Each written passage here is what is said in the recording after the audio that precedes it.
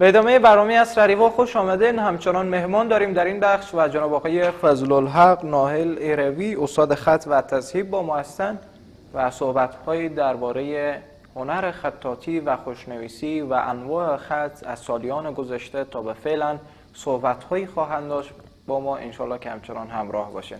سلام بر شما جناب آقای هروی خیلی خوش آمده تشکر از شما از اینکه ما به این برنامه زیبای خود دعوت کردیم بسم الله الرحمن الرحیم الحمد لله و الصلاة و السلام علی رسول الله و بعد بنده هم سلام و احترامات خود برای شما و بینندگانتان تقدیم میدارم بسیار تشکر جناب آقای هروی قبل از اینکه بریم سراغ موارد اصلی و موضوعاتی که قرار با شما. صحبت بکنیم اگر معرفی از خود داشته باشین چی شد که هنر خوشنویسی رو انتخاب کردین و فعلا همچنان میدرخشین در هنر تشکر از شما سوال بسیار خوب کردیم بنده حقیر به توفیق الله متعال و به همکاری و رهنمایی استاد عبدالجلیل توانای هروی که یک تن از خطاطان معروف و مشهور افغانستان به خصوص ولایت هرات هستند.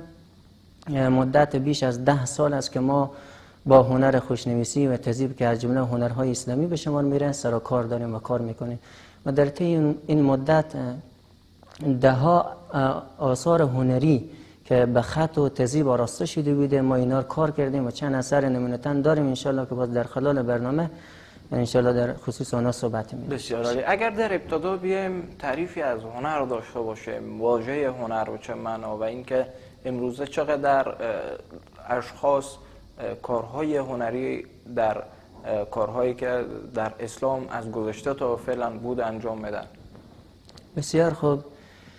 واژه هنر یک واژه تقریبا شناخته شده بین اکثریت ما و شما انشاءالله هسته این واژه هنری که ما امروز بارها در کلمات روزمره خود استفاده می‌کنیم و بارها هم شنیدیم و میشنویم. یک واژه کهن اوستایی است که در زبان فارسی از دو پیشوند ترکیب یافته. که یکی پیشوند هو بوده که به معنای خوب می باشه و یکی نر به معنای توانایی یا مردانگی می باشه که مجموعی از اون میشه خوب توانایی یا خوب به توانایی به این شکل معنار افاده می‌کنه. و این ووی که بوده هنر بوده و به جهت سهولت لفظ حذف کردن شده هنر. و این واژه هنر بیش از یک هزار ساله که در زبان و شعر فارسی مورد استفاده قرار داره و تا اکنون نیز هم ادامه داره.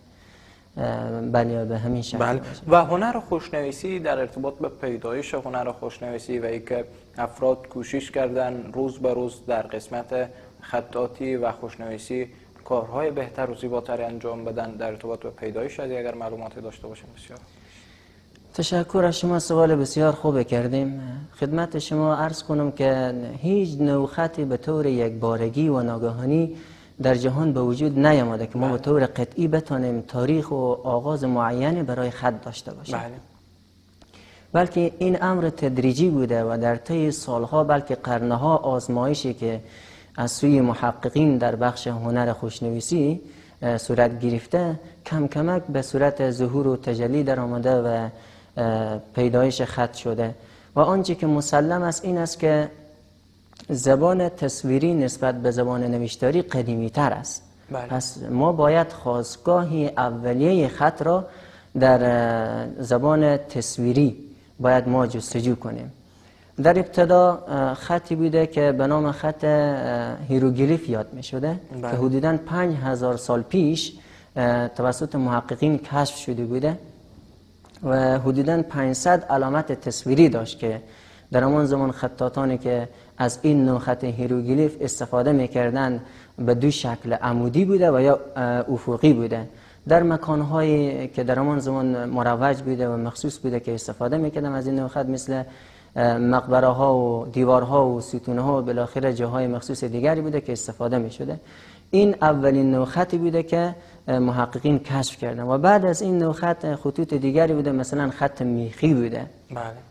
که این نوع خط باز بعد از خط هیروگلیف موجودیت حاصل می‌کنه و ابداع کننده این نوع خط میخی سومری ها بودن یک طایفه ای بود و شاید کمی تعجب آور باشه چون اطلاق لفظ میخ بر این نوع خط شده. بله. شاید بینندگان تصور کنن که بیا این نوع خط میخ است. نه.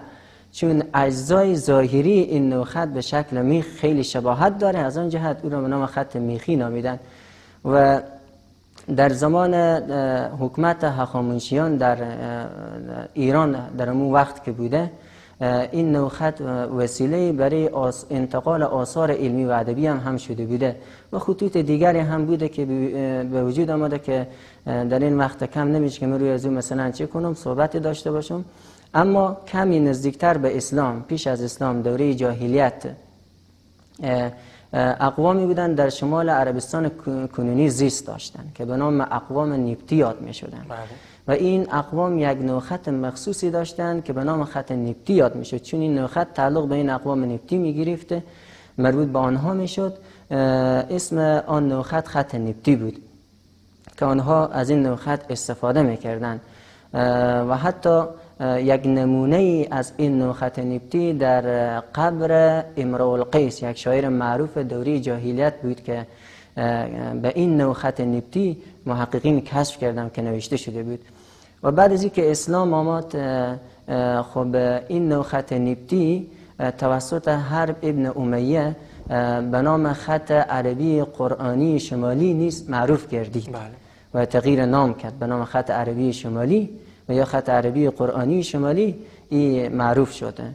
و از مکه این نوع خط نیپتی رفت به سوی مدینه المنوره. در آنجا قبایل اوس و خزرج و سقیف از این نوع خط به گرمی استقبال کردند و وسیله برای کتابت و نوشتاری صورت می‌گیری و حتی اگر اشتباه نکنم زید بدن ثابت که کاتب وحی رسول خدا صلی الله علیه و سلم بودند برای نخستین بار گردآوری و جمعآوری نسخه های از قرآن عظیم شن به این نوع خطات برجسته وقتی که در زمان خلافت حضرت عثمان رضی الله تعالی عنه بود سپرده شد که قرآن عظیم شن نسخه های جمعآوری کرد و نوشته کرد به این نوع خط عربی شمالی نوشته کرد. خب بعد از آن رفته در دوره خلافت حضرت علی کرم الله وجهه. و بعد از او در دوره عباسیان که در بغداد و بالاخره در عراق بود خطوط کوفی قرن اول و دوم و سوم بود که در آن جا و در آن زمان استفاده می‌شد و فعلا هم عرب ها از این خطوط در آثار هنری خود استفاده می‌کنن و حتی ما هم خط کوفی قرن اول و دوم و سوم که ما فعلا می نویسیم بله. همان خطوط کوفی است که در آن دوره به حساب نوشته می‌شد و یک چیز دیگه نکته که می‌خوام خدمت شما عرض کنم این هست که چون از خط کوفی ما صحبت کردیم ما در ولایت هرات مکتب داریم که به نام مکتب معروف جهانی هم هسته که ما 26 نوع خط کوفی داریم که مخصوص همین مکتب ولایت هرات است که در هیچ گوشه از جهان به این نوع خط کسی تسلط نداره و نوشته نمی‌کنه و خود مکتب هرات و هنرمندایی که از این مکتب تربیه شده آثار هنری خب با این نوع خطوط مثلا آراسته می‌کنم و می نویسم و کار می‌کنم و کار کردم. بسیار تشکر. جناب آقای هروی عزیز اگر موافق باشین که بریم سراغ توضیح همی بله، آثار که ما کار تا به حال کار شما هست اگر بسیار خوب. خب بینندگان عزیز طوری که شما می‌بینین این طرحی که در این تبلو کار شده و یا این آیه مبارکه آیت الکرسی شریف می باشه آیت بسیار مقدس و پربرکتی هست. این آیه مبارکه آیت الکرسی شریف ما به ده و خط ما کار کردیم. در این اثر هنری خود همراه با تزیب و تشعیری که کار شده و این بسم الله الرحمن الرحیم طوری که شما می‌بینیم به خط کوفی معقلی یا بنایی نوشته شده که این نوع خط کوفی مخصوص مکتب هرات در زمان بله. تیموریان هرات استفاده میشه. حتی در منارهای هرات ما از این نوع خط کوفی بنایی یا معقلی داریم که استفاده میشه. خط بسیار زیبا و مقبول است. و بعد از بسم الله الرحمن الرحیم ابتدای آیت الکرسیه که الله لا اله الا هو الحی القیوم ولا تاخذوه سینه این قسمت از آیت الکرسی شریف ما با خط کوفی قرن سوم نوشته کردیم. و بعد از او به ادامه از ولا نوم الله ما فی السماوات به خط کوفی قرن دوم هجریه که بله. در زمان حکمت عباسیان در عراق مورد استفاده قرار می و ما هم نیز از این نوع خط استفاده می‌کنیم چنانچه در اثر هنری خود این نوع خط هم نیز استفاده کردم و به ادامه و ما فی الارض منزل الذی یشفع این خط کوفی که هسته قسمت از آیت الکرسی شریف نوشته که این خط کوفی قرن ششمه بله. که در زمان قوریان سلطان قیاس الدین قوری مورد استفاده قرار داشته و اکنون نیز هم ادامه داره و استفاده میشه خطاتان استفاده می‌کنن و نمونی از در منار جام قور هم استفاده شده بله. و به ادامه عنده الا باذنه یعلم ما بین ایدیهم و ما خلفهم و این قسمت از آیت الکرسی شریف ما با خط سلس نوشته کردیم خط بله. سلس یکی از جمله خطوط سته به شما میره. خط بسیار مقبول زیبا است و حتی به نام خط ام الخطوط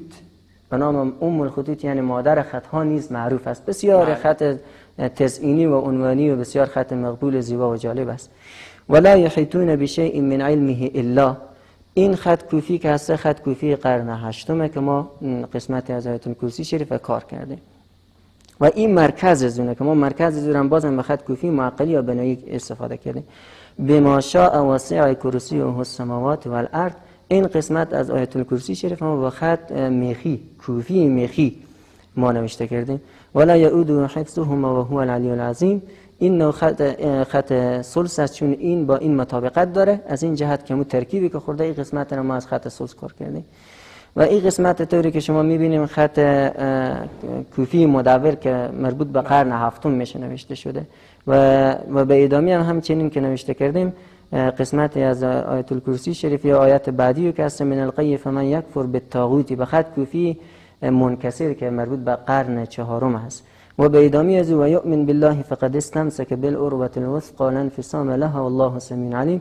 خط دیوانیه که صد سال پیش در دوره امپراتور عثمانی ها ایجاد شد دیوانی یا دفتری که از یک دفتر یا از یک دیوان امارت به امارت دیگر از این نوع خط عمرا استفاده می‌کنن در بله زمان جناب آقای هروی در ارتباط به کاغذ از مگر معلومات بدین و چوکاتی که میشه گفت در بین از او آیه مبارک شما نوشته کردن اگر صحبت بکنید. سوال بسیار خوب کردین شما. خدمت شما عرض کنم کارهایی که ما در در می آثار هنری خو انجام دادیم از ابتدایی ترین کار از که ساخت کاغذه که به شکل سنتی در مکتب هرات در به خصوص در دوری تیموریان هرات کاغذ در می ساختن برای خوشنویسی برای برای از یک آثار هنری در مو تبلو نوشته بشه. کاغذ را تهیه می‌کنیم و این کاغذ خود ما تهیه می‌کنه از مواد مخصوصی داره و همچنین باز ما رنگ می‌کنیم از مواد مخصوصی مثل نیلتوتیا و صبر زهر و موادهای دیگر داره که ما اونا رو از اتاری فروشی ها می‌گیریم بعد اونا رو آماده می‌کنیم. و همچنین بعد از اون این مستقیم چون کاغذ دستی نوشته نمیشه همو رنگ ما نشر می‌کنه. چون رنگ ما همین رنگایی که ما در تبلوخ استفاده کردیم اینا رنگای سنتیه که خود ما می‌سازیم. بله. از این برنج وطنی که برنج بنام برنج بریک یا برنج سیاوشونی نیز معروفه. و اون میسوزونیم بعد از اون رنگ تشکیل میدیم بالاخره باز در تبلو خو کار می‌کنه یعنی همه کار از سنتی و بالاخره در شکل قالب هنر هسته که استفاده میشه. خب. اگر بریم سراغ هنر بعدی از خط. و این طوری که شما بینندگان می‌بینیم یک اثر دیگری از آثار هنری بنده حقیر می‌باشه که سوره مبارکه اعلا یا سبح اسم ربک الاعلى الذی که نوشته کردم به 14 و خط در این تبلو به کار رفته. کاغذ ازی هم همچنان دستیه. بسم الله الرحمن الرحیم. به خط کوفی معقلی و بنایی استفاده کردن. سبح اسم ربک الاعلى الذی خلق فسوا این به خط محقق نوشته کردن. خط محقق هم جمله خطوط سته می باشه. به نام پدر خط ها بله. نزد خطاتین معروف هست. خب ادامه از سوری مبارکه سبه اسم شریف که طوری که شما می‌بینید خط کوفی قرن ششم این خط کوفی قرن دوم هجریه و این خط سلسه که به نام, خ... ام الخطوط یا مادر خطا یاد میشه چنانچه من پیشترم یادآوری کردم. نوشته شده و این خط کوفی مدوره و این قسمت طوری که شما می‌بینیم این نفعت ذکرا به خط کوفی قرن هشتم به شکل قفلی کار شده. یعنی همین قسمت از آیه, آیه مبارکه ما گرفتیم. به شکل قفل کار کنه که همون سواد و بیاز از همه به یک شکل و به یک اندازه قفل کار شده. و همچنین این خط میخیه این هم خط سلس چون این با این مطابقت داره و در پین از خط نسخ ما نوشته کردیم نسخ قرآنی که به نام خط عربی نزد مردم بسیار معروفه. و همچنین خط منکسره و این خط محققه که نوشته شده. و همچنین این تزیبی که در این آثار ما به کار رفته اینا به نام تزیب مکتب هرات که رنگای مخصوص مکتب هرات در این تبلو در تزیب ازی به کار رفته رنگ لاجورد فیروزه جیگری و طلا که هسته. و در این قسمت هم طوری که شما میبینندگان می‌بینید شعری مناجاتی از مولانا سر عبدالرحمن جامی ای به توحید تو هر ذره گواه نیست یک ذره به توحید تو را بالاخره. همون ادامه داره تا بزو آخر از او. و این شعر مناجاتیه که به خط نستعلیق نوشته شده. بله. جناب آقای هروی چند روز طول می‌کشه تا یک اثر تکمیل میشه و میشه گفت کار از روی به اتمام مرسه سوال بسیار خوبی کردین. بستگی به همو طرحی که در تبلو ما داریم پیاده می‌کنیم بستگی به همو طرح داره بستگی به به مو قانونیت و به حساب هنری بودن همو تبلو داره. اگر ما خواسته باشیم که یک اثر هنری در از اون انواع خط هرچی بیشتر کار کنیم طبعا وقت زیاد بیشتری در کار داره. و از طرف دیگر اگر ما خواسته باشیم که کاغذ ما دستی باشه و رنگ ما دستی باشه و این کاغذ آماده باشه برای نوشتن و انواع خط در از استفاده باشه خب وقت زیادی می‌گیره. همین تبلیغی که همین فعلا رو شما یادآوری کردم حدودا یک نیم ما طول کشیده از همون کاغذ 50 در افتاده که ما روی ازی کار کردیم. چون کار یک روز و یک هفته نبوده یک شب مثلا یک هفته باشه ما روی ازی کار کنیم. چون همون ظرافتی داره به حساب همون کارهای برنامه هنری که داره همگی ابعاد هنری در همین تبلو به کار رفته. بله و اثر بعدی؟ و این اثر بعدی هم طوری که شما بینندگان می‌بینیم آیت الکرسی شریفه که من نوشته کردم. چون من به آیت الکرسی شریف خیلی علاقه بسیار خاصی دارم. چون هم قسمت از آیات از آیات قرآن عظیم هم هست. آیت بسیار پربرکت و پرفضیلتی. بله. به روی این اساس من چند عدد از آثار خورد. در فقط اختصاص دادم به نوشتن آیت الکرسی شریف. و بیشتر هم کسایی که از ما هدیه می‌کنن سعی می‌کنن که آیت الکرسی شریف باشه یا دعا نظر باشه یا چارقل باشه آیتایی باشه که اونا باز بیشتر در خانه ها خو یا در مساجد و جاهای دیگر می‌گذارن. خب خیلی دور نمی‌رویم. طوری که شما می‌بینید کاغذم که کاغذ دستی چنانچه ما بیشتر به شما توضیح دادم و از ابتدا از شروع کنیم که وقتی که شما می‌بینیم اینا که ما تزیبا کار کردیم و این به نام تشهیر یاد می‌کنن که کار شده اصطلاح کار شده. و اینا تزیب کرنگاه مکتب هرات در از استفاده شده سکش شده اندازه گیری شده. بعد مویت الکرسی شریف ما در وسط از به شکل دیزاین مکتب هرات ما کار کردیم. اینجا نوشته کردیم یا غفار یا جبار یک شکل دیزاینیه. بسم الله الرحمن الرحیم. الله لا اله الا هو الحی القیوم. ای به خط کوفی معقلی یا بنایی استفاده شده چنانچه پیشتر من توضیح دادم. لا تأخذوه سینة ولا نوم له ما فی السماوات و ما فی الارض. به خط کوفی قرن نوشته شده. و همچنین این قسمت هم که ادامی آیت الکرسی شریفه به خط کوفی معقلی و این قسمت همچنین و این قسمت هم به خط کوفی قرن هشتم استفاده شده. و یک چیزی دیگر به خدمت بینندگان عرض کنم که در یک اثر هنری وقتی که ما میایم چندین نوع خط ما مثلا به کار می‌بریم مثلا در می تبله و چهار نوع خط در کار رفته. بله. باید ما ابعاد هنری از او در نظر بگیریم. از لحاظ مثلا تزی و از لحاظ سکیش و از لحاظ تناسب خط که چی نسبت های داره خط بندگر مثلا نمی خط کوفی قرن ششم در پهلوی همی خط کوفی مثلا معقلی قرن سوم آوردیم مناسبت داشته باشه که یعنی باز از لحاظ هنری مشکلی نداشته باشه که باز چشم نزنه و مشکلاتی ایجاد نکنه. به همین شکل می آثار هنری ما کار کردیم. بیشتر از 50 اثر هنری میشه که تا به حال کار کردم بسیار جناب آقای هروی عزیز شده خدای نکرده تا فعلا روزها ولی یک اثر زحمت بکشین ولی با اندکترین مشکل باعث بشه که اثر شما زیبا نشه و یا هم شما از کار از دست بکشین. سوال بسیار خوبه کردین چونی موضوع اتفاق افتادنی تنها برای خود من بلکه برای اکثریت هنرمندانی که کار کردن. و یک چیز من خدمت شما عرض کنم که همواره استاد ما تاکید برای داشتن که شما زمانی کوشش کنیم که برای یک اثر هنری می‌خوایم که شما از خطوط مختلف استفاده می‌کنیم یا می‌خوایم یک اثر هنری کامل و جامعی شما داشته باشین که مورد پذیرش هنرمند و غیر هنرمند باشه یعنی هنری باشه شما کوشش کنیم از وقتهای استفاده کنیم که همون وقت شما آماده باشیم برای نوشتن یک اثر هنری بله. مثلا زیادتر, زیادتر وقتی که من آثار هنری به شکل حرفه‌ای و هنری کار می‌کنم سعی می‌کنم که از طرف صبح سحر پیش از نماز یا بعد از نماز استفاده می‌کنم که ذهن خوب آرام و آماده ایم مثل ازی که بعضی شاعران نگاه می‌کنن که در وقت سحر یا وقتی مثلا خواب میشم به بستر خواب میرم در ذهن از اونا مثلا قطعات شیری میه که باز به سادگی و به مقبولی می‌تونن که همون شعر خور بگن همون تو وقت مناسب باشه به حساب همو برنامه خود قبل از که روی ازی ما پیاده کنیم یک کاغذ چتن نویس دیگه هم داریم پیش خود. بله. یک امتحان می‌کنیم که آیا فعلا ما آماده برای این کار هستیم یا نی. ای تا وقتی هم شده برای ما که همو طرح در ذهن ما بوده آماده بودم برای همو طرح که همو طرح آماده کنم. قبل از اینکه مر قلم نه به کار ببرم روی طرح اصلی خو کاغذ اصلی روی کاغذ چتن نویس رنگ ما آماده بوده کاغذ ما آماده خود ما آماده بودم شروع کردم به نوشتن. دیدم که به حساب خود من شخصا آماده نیم. همین لحظه لحظه نوشتن نیه که من بنویسم. اونا رو جمع کردم نوشته نکردم. گذاشتم تا به روز بعدی یا فرصت بعدی که باز استفاده کنم. بسیار تشکر از حضور شما آقای فضل الحق نایل هیروی استاد خط تذهیب.